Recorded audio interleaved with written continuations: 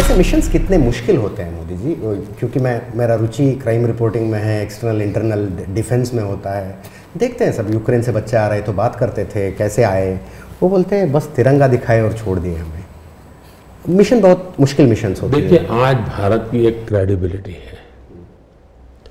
दुनिया, भारत को विश्व बंधु के तौर पर, यानी फील कर रही है। सिर्फ़ शब्दों नहीं, भाव से फील कर रही है। और किसी भी संकट के समय भारत हमेशा फ़र्स्ट रिस्पॉन्डर रहा है। अब मैंने अभी कावेरी ऑपरेशन चलाया था। मेरे कर्नाटका के सबसे लोग वहाँ थे। सूडान से मुझे लाना था। उन, उनको हक्की पिक्की बोलते हैं। हाँ उन सबको हम लेकर के आए जी। और वो तो बेचारे ऐसा काम करते थे मेहनत का कि उनके लिए तो अगर रोजी रोटी बंद हो जाए तो क्या खाना वो भी मुश्किल था। लेकिन हम लेकर के आए। और इसलिए विदेश नीति का जो पर्सपेक्टिव है, वो हमने पूरी तरह बदल दिया है। हमने हमारे नीति में, हमारे डायस्पोरा को भी उतना ही महत्व दिया है। जितने की हमारे डायस्पोरा की ताकत है, उसको हमने जोड़ना चाहिए।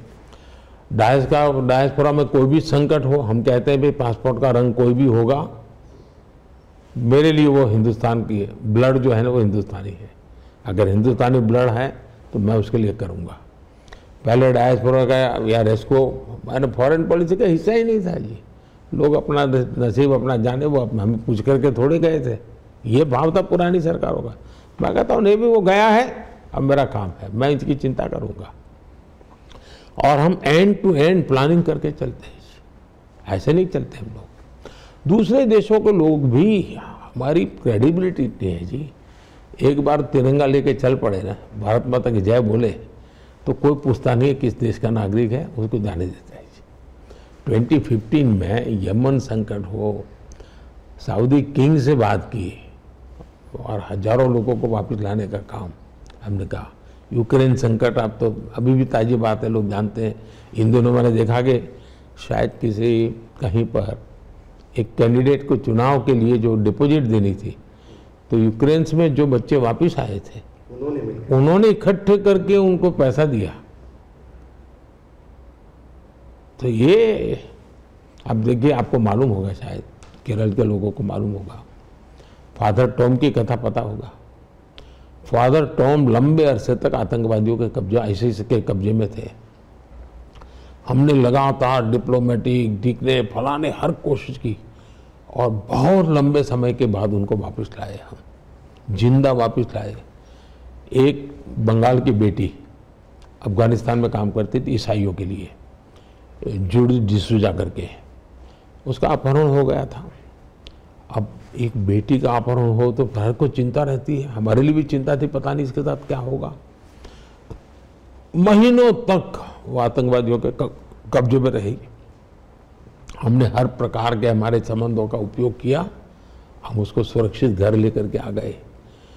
एक फादर प्रेम थे, उस फादर प्रेम को भी उसी प्रकार से, वो तो लंबे अरसे तक रहे थे। और जब फादर प्रेम मुझे मिलने, मैंने उनके घर फ़ोन किया कि, उनकी बहन ने उठाया।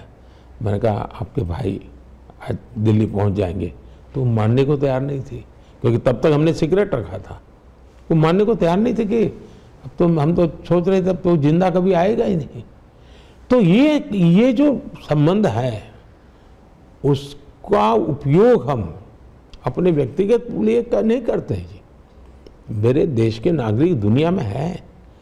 उनके उनके लिए लगना चाहिए कि देश मेरे साथ खड़ा है। ये बहुत ज़रूरी होता है जी। पहले हम सोचते थे विदेश नीति से नीति से आम आदमी का कुछ लेना देना नहीं है। सोच ऐसा रहता है हमसे क्या लेना देना हम अब समझ में आ रहा है कि हाँ हाँ, हाँ। अब उनको समझ आ रहा है जी। अब जिस किसी देश के साथ करार करते हैं एग्रीमेंट करते हैं। अब जैसे ऑस्ट्रेलिया के साथ एग्रीमेंट किया। तो पहले तो ऐसा लगा, अब ऑस्ट्रेलिया के साथ एग्रीमेंट ऐसा है कि हमारा बार बार भी अब जाके ऑस्ट्रेलिया में काम करना है तो कर सकता है। हमारा कुक भी ऑस्ट्रेलिया में जाके काम करना है तो कर सकता है। ऑफिशियली और यानी एक प्रकार से हर सामान्य व्यक्ति को अपॉर्चुनिटी मिल रही है जी। तो कॉमन मैन के लिए होता है।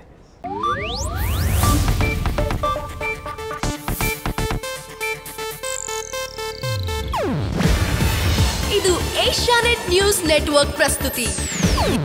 ನೀವು ನೋಡ್ತಿದ್ದೀರಾ ಏಷ್ಯಾ ನೆಟ್ ಸುವರ್ಣ ನ್ಯೂಸ್.